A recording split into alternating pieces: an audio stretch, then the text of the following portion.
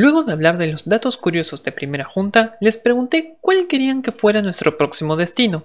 Parece que nos quedaremos en la misma línea porque es hora de hacer 10 curiosidades de Plaza Miserere. Número 1. Fue inaugurada el 1 de diciembre de 1913 y fue la cabecera original de la línea A hasta su extensión el 1 de abril de 1914. Número 2. Originalmente llamada Plaza 11, cambió de nombre junto a la plaza que está sobre ella en 1947. Número 3.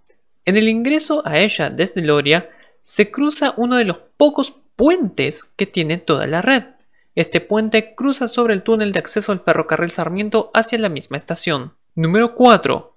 Las dos vías centrales son en realidad del ferrocarril Sarmiento Existían servicios especiales que, hasta 2012, terminaban su recorrido en Plaza Miserere en lugar de Plaza 11. Número 5. Sin importar en qué dirección viajes, las puertas siempre se abren del mismo lado del tren. Número 6. Trabajadores del subte han pintado una cruz en la salida hacia Pasco para ahuyentar a los espíritus que se dice que habitan en Miserere. Número 7.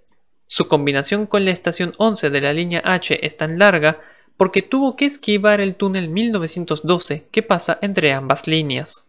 Número 8. A pesar de su ubicación en un nodo de transporte muy importante, es solo la cuarta estación más usada de su línea. Se encuentra por debajo de San Pedrito, Plaza de Mayo y Acoite, según los datos del 2019. Número 9. El color de sus frisos es el azul. Esta señal se utilizaba para que los pasajeros que no supieran leer pudieran ubicarse. Número 10. Si cortáramos la tierra y quitáramos la plaza, veríamos que la estación se encuentra en diagonal a ella y no en paralelo. Esto se hizo para facilitar la conexión al ferrocarril oeste. ¿Qué estación te gustaría ver después? Déjame tu sugerencia en los comentarios. Por ahora te dejo el episodio de primera junta para que veas y te invito a suscribirte para no perderte contenido nuevo todas las semanas.